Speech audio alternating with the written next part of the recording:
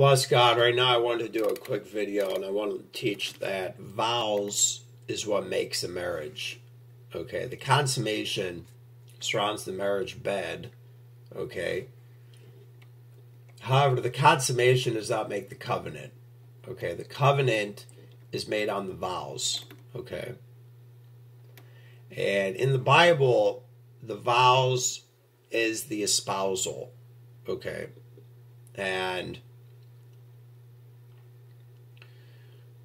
this is what we see in the New Testament that we're espoused to Christ as a chaste virgin. So if you take the language, okay, and we apply it to what is indeed a spiritual covenant, okay, coming into salvation, into Jesus, okay, the body of Jesus, this is important, is spiritual, okay, and this is indeed the new covenant, okay, and now you're a chaste virgin, okay, so you're in the body of Jesus, okay, so it's spiritual, so they two shall be one flesh, okay, Paul talks this way in First Corinthians chapter 6 and there's a reason why he does because when you come into Jesus there is that espousal. The covenant has been made okay but this is why he also teaches if you go to the harlot you become one with the harlot not because just sleeping with a harlot in life means you're married to her okay no but what this means is that you've spiritually died. So now the covenant with Christ is gone, okay? Because covenants are till death. The salvation covenant is spiritual, yes, and it's till death. If you die spiritually, it's over. Okay, so you depart from Christ, and now you go to be one with the harlot. You've made a covenant with death, and now you're at agreement with hell. Okay? So that's what that means. And that's why in Revelation 19 we see the consummation language given. Okay. So that's where you find the consummation language, okay, in this setup here. Okay. But today we are one with Jesus in this covenant. Okay. So that's a standard and a spiritual. Now we look at the physical here in Genesis chapter 2. We see it here that the Lord God caused a deep sleep to fall upon Adam, and he slept. And he took one of his ribs and closed up the flesh instead thereof. And the rib which the Lord God had taken from man made he a woman, and brought her on to the man. And Adam said, This is now bone of my bones, and flesh of my flesh. She shall be called woman because she was taken out of man. Therefore shall a man leave his father and his mother and cleave unto his wife, and they shall be one flesh. And they were both naked, and there's no and. The man and his wife were not ashamed. Okay, so what we see here is that Adam does make a profession. She shall be called woman. Okay what you have here is that, and this brings back a really good point that someone had made to me in the past, that when you break it down like this, this makes it clear cut that the vows is what makes the marriage, okay? So for a man and a woman to be naked, okay, not be ashamed, they have to have vowed to each other, okay? And this is what we see in Genesis. They were first made one flesh by God before they had relations with each other. Okay. They were not ashamed. Now, think about this. When a man and a woman come together, okay, in the marriage bed, okay, then there had to have been something preceding that to make the marriage bed lawful. Okay? and that's the vows. Okay. So it's the vows that make two one flesh. Okay. So then when they go into the marriage bed, it's a lawful relationship. Okay. If there wasn't something preceding over this prior, then the act is fornication and it's sin. Okay. However, that's not the case. If the vows are lawful before God, then they're one flesh. Okay. And that's why it's upon vowing. Okay. There's other things I could bring up here as I go. Okay. And so again, those are the big examples, okay, that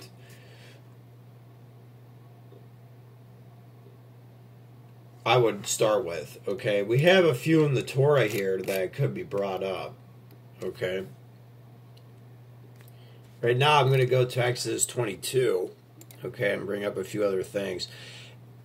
Espousal and betrothal are the same if they're translated properly, okay. There is places in the Torah where we see betrothed and it's not the proper translation, okay. And that is something that you have to be aware of. There's underlying Hebrew words, and it's a more lengthy conversation but it's a conversation that can be had. Okay. In this video, I'm only trying to prove that the vows is what makes the marriage. So the vows is what makes the betrothal. Okay. And that is what makes two one flesh. Because now it's legal before God. It's of the lawgiver, it's of God. And you do not need witnesses. We go back to the Garden of Eden. Who was there? No one. Okay, so you don't need witnesses. Witnesses is good. It's not wrong to have a witness to these things, but you don't need them. And you don't need the state, okay, and these things. That's just the point here, okay? I might bring up some other things as I get through this, though, because there's a reason why people ask this, okay? Sometimes, and sometimes it could be other reasons, but Exodus twenty two sixteen. If a man entice a maid that is not betrothed and lie with her, he shall surely endow her to be his wife. Okay, so here, the woman's not betrothed. Okay, so then the Torah says that this man, he has to do the right thing now. Okay, it does not mean they're married. Okay, he shall surely endow her to be his wife. Okay, so this could be looked at in different ways, but you're trying to get to a place where there could be an actual vows to make this legal. Okay. If her father utterly refused to give her unto him, he shall pay money according to the dowry of the virgins. Okay. So does not make the marriage. Anyone that's saying that the sex alone makes the marriage is teaching something contrary to the Bible. Okay. And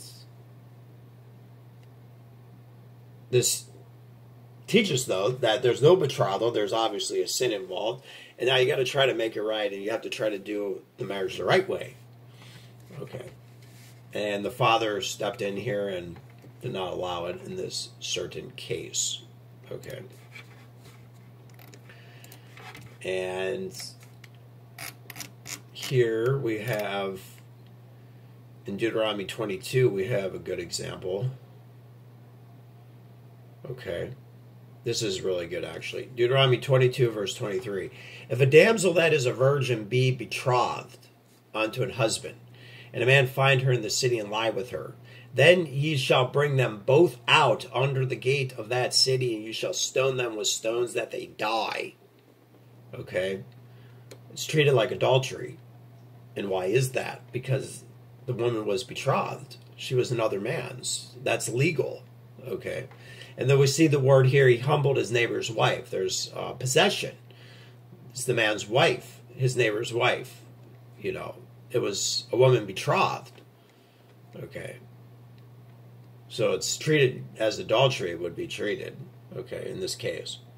It's an adultery against the vows. Okay. Now you have a real technicality here, which is I wouldn't call it a technicality. It's technical, maybe is the right way to say it that you have to look at adultery or fornication on what it's against. Is it against the vows only or is against the bed? You know, what are we talking about? Okay. Once a woman has entered the marriage bed with a man, okay, then she's not really even considered a woman espoused, really. They're already in the marriage bed, okay, and they're already living together, okay. She's not a virgin anymore, okay. That's why the Bible talks about fornication, okay, and that's why there is this particular sin in the writing of divorce because you would not need a writing of divorce I'll mention this. I think this is fair. And I'm going to get back to Deuteronomy 22. But you would not need a writing of divorce if there was not an already established vow before God that they were married. Okay? Because the problem occurred in the marriage bed. Okay? So there had to been a standard to make the union lawful, and then the problem to be something that is given through a verdict of God permissible by the Torah that if the woman's found to not be a virgin, okay, was the problem, okay, and that's why it's saving for the cause of fornication because the woman was a fornicator against the marriage bed. But against the vows, I mean, that's really just being adulterous, you know, in that sense. Okay, and this is why you find a close link to the words as well, like in the prophets, okay, it really comes down to what are we talking about? Okay. If you've made a vow with a man, okay, till death do you part, okay, you're already a woman who's in that sense married, okay. And what we see in the Torah and what we see in the scriptures that sometimes there was a lengthy period of time in between the espousal and the consummation if you were in that period of time go to be with another man, you're in a sense guilty of fornication because it's against the marriage bed. That's the difference. Okay. There are some that just want to make adultery and fornication mean the same thing. But they don't. They do give us particulars. Okay. And they help explain to us particulars. But if you vow to do that, and you're already married in that sense, so in that sense, yeah, you want to call someone an adulterer for that, you could. I mean, in that sense. But as far as the sexual act in the marriage bed, it's why we have the difference between fornication and adultery. Okay. Now, here we have, if we go down, for example, so we saw the verdict in the case with the woman betrothed, just stone him. Now it does talk about the woman crying out in case she was raped or something. Okay. In this case, they feel comfortable knowing that this was not rape; it was consensual act. The woman shall be stoned. Okay. Because she had a husband and she went with another man. Okay. So is treated basically like adultery. Okay, so in Deuteronomy 22, verse 28, if a man find a damsel that is a virgin, which is not betrothed, and lay hold on her, and lie with her, and they be found, then the man that lie with her shall give unto the damsel's father fifty shekels of silver, and she shall be his wife, because he has humbled her, he may not put her away all his days. Okay, so the point is the act, the very act the consensual act of intercourse, you have here, as you did above a couple verses in the chapter. However, the difference is that there was a woman who was betrothed and a woman that was not. So it's the betrothal that has the legality over the situation, and now it adds the emphasis and it heightens the situation. If you sleep with a woman betrothed, you sleep with a woman that has been vowed, okay? And this woman now it's like sleeping with her it's like sleeping with a woman that's been married for 10 years. Okay you're going to be stoned. In a case of a woman who's not betrothed okay there does need to be some recourse for this. There has to be some situation brought forth with the woman's father and so we see in exodus 22 one way it could go and then we see in deuteronomy 22 another way it can go. But there is torah there is law surrounding how to operate it back in Israel. So now you're going to ask me maybe a question what am I going to do today? Well, you have to come to me with the exact situation. Then we have to see what God provides for an answer because you get all these different situations. Listen, if two people vow to be married till one of them gets sick, that doesn't count. Okay, that's not of God. Okay, I have to go by God's standard. As long as two people vow, you know, we just make it simple. Try to make it as simple as possible. If two virgins vow to be married till they die, you're stuck till you're dead. Okay, until one of those people is in the ground dead, you ain't allowed to go with anyone else. And that's that's the doctrine of God. Okay, and that's the teaching of Scripture. Okay. However, if someone makes their own vows that's contrary to the law of God, then the law of God's not going to sanction it. The law of God's not going to sanction something like this. Okay? The law of God sanctions what God has said. Okay? And that's why the law of God does not sanction remarriage. Okay? Because there are some people that say, I've been remarried, you know, and I don't want to get out of this marriage because of the covenant. And you guys are teaching false teachings. Okay? And no one submits to those teachings, okay, in the church because it's contrary to the doctrines of Scripture, okay?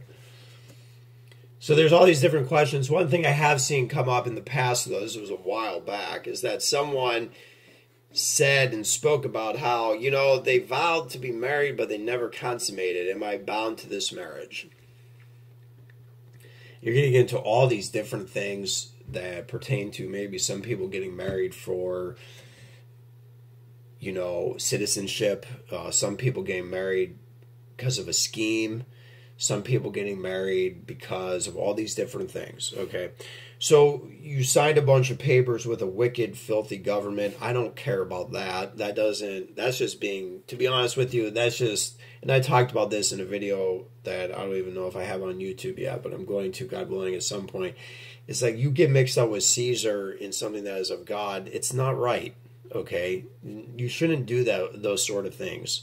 Okay, this marriage is particular with God. You don't need to get some, you know, bunch of wicked rich men involved in your business. Okay, it's just not right. Okay, you know we're in the world, but we need to be kept from evil. You cannot be of the world.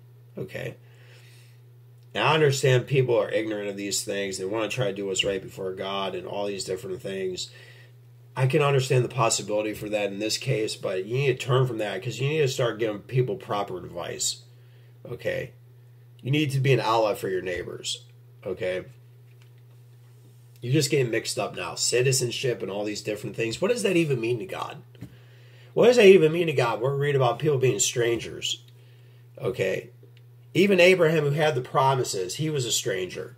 You know, what does this even mean? You know? You just fall under the syndrome of best life now. Despite the fact that you don't think that you live that, that's what you're doing. You're just looking for your best life now. You're just looking to try to cut every corner, make everything as easy as possible. Listen, if you're free, use it. Okay? I'm not telling you not to. But when you have to try every last little thing in life to make this life better, you're going to lose it. Okay? Rather, what you need to do right now is just lose your life so you can find it then. Okay, and that's what you need to do. And then you're going to think, you know what? None of these things are really worth it. Okay. So, this is what some people say I've vowed, okay, but never consummated. Am I bound to this? Okay. Well, yes, of course. You're bound to your vows. The Bible teaches that. Okay. You vowed to another man, you know, that you would be married till death do you part. Whether or not you've had sexual intercourse, that's not God's law. God's law starts with the vows. God's law isn't waiting for the intercourse. In the scriptures, like I talked about before, the way the sin is communicated to us is differentiated between different cases and scenarios on whether you have entered the marriage bed. So God gave us these specifics so we may know what's going on in different cases, especially in Israel. It was most prominent in Israel, you know. And God reflects these different things to us in salvation because there is, for example, the espousal, which is looked at like marriage, because there is a saying that is not pre trib, but Jesus teaches this actually, that when he's come back from the marriage, okay, well, how could Jesus come back for the marriage if we also read that there's a marriage in Revelation 19? How can that actually work? So the pre trib believers say that you're going to go up to heaven and there's going to be some sort of marriage up there, and then there's going to be another one in Revelation 19. Okay. And, you know, no one actually taught that, but you might get that from, for example, I'll go to a place, okay? In the gospel here, Luke chapter 12, and the word is wedding, not marriage, but it's the same Greek word. But I'll read this, okay? Luke 12 36. And ye yourselves like unto men that wait for their Lord when he will return from the wedding, that when he cometh and knocketh, they may open unto him immediately. Okay, blessed are those servants. Okay, so he returns not from some sort of pre trib, okay, that's not what he's talking about, obviously, because he's talking to what they would say is maybe Jews. Okay, so this is the Jews that the Jews are told there's going to be a pre-trib rapture, but you know your salvation will come later or something like this, and all these nonsensical teachings. The wedding here is in reference to the espousal. When the fullness of espousal reaches, okay, then he comes back for the marriage in Revelation 19. So you have espousal and you have consummation. Okay, these are the two critical points here. Because if you look at Matthew 22, okay, this is in reference to Jesus here, okay. The kingdom of heaven is like unto a certain king which made a marriage for his son, and sent forth his servants to call them that were bidden to the wedding, and they would not. Okay, so the same way he called the Jews, he calls in the New Testament. Okay. So again, let's keep going. I'll go down to verse 8. Then saith he to his servants, The wedding is ready, but they that were bidden were not worthy. Go you therefore into the highways, and as many as you shall find bid to the marriage. Okay, so marriage and wedding, same Greek word here, G1062, so we have to discern the context. So here, the same way he called the Jews, he's calling now in the New Testament. Okay, so these, they were at one point bidden, okay? They were in this covenant, but they're not worthy, so we're, get rid of them. All right, so then they go out to the highways, and they get what they can find, okay? So then we get to the end, so they espouse other people. Even how Peter writes about this in 1 Peter 2, how it relates to Hosea 2. Okay, there's a betrothal. Okay. Now you have the one guy doesn't have the proper garment on, which signifies the fact that he's in sin. It doesn't mean he gets left behind or something for seven years. No, what happens is he's bound hand and foot and he goes into outer darkness. Okay.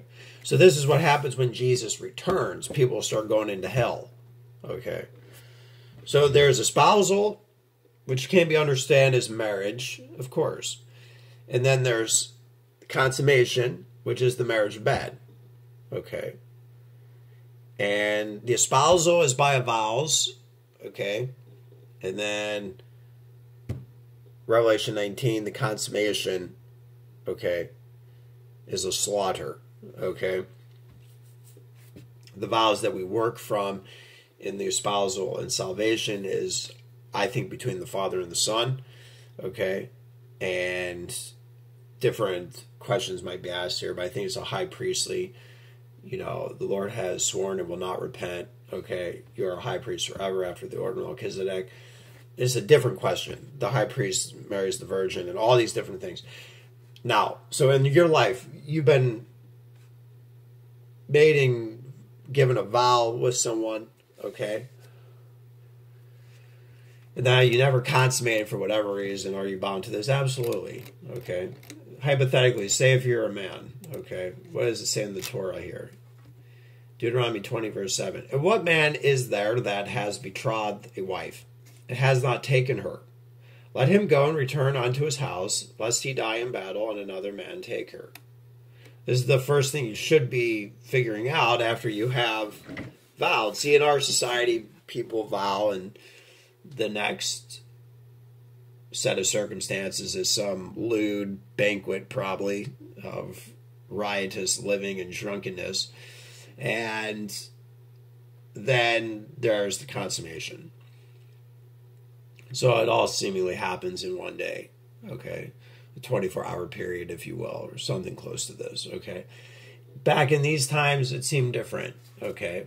You know, even you look at David, who, you know, that was his wife. As long as this woman was alive, he already had a wife. Michal, Saul's daughter. Okay. This was his technical wife. Okay. This whole time. And all these other women, that's why we've been saying this was wrong. You know, but even David realized the legality of it. Okay. For example, here we see in 2 Samuel 3.14, And David sent messengers to Ishbosheth, Saul's son, saying, Deliver my wife Michal, which I espoused to me for a hundred foreskins of the Philistines. Okay. And so here in this scripture, we see that David, he already had problem with women. Okay. You know, in he already understood things wrong. But he knows at this point that this is his lawful wife. Okay. And for that, David understood the law. And David was trying to do right by the law in this point. Okay. David wasn't always, you know, steadfast, if you will. And however, though, in this situation, he understood. Okay. And that goes to prove to you that David understood the law. Okay. And that also proves that espousal is by law. Okay. And makes the law. Because David is claiming his lawful right to this woman. Okay. And this woman already had another man, and that man didn't have any right. Okay, it's not just because of who David was. Okay, it's because of the law of God.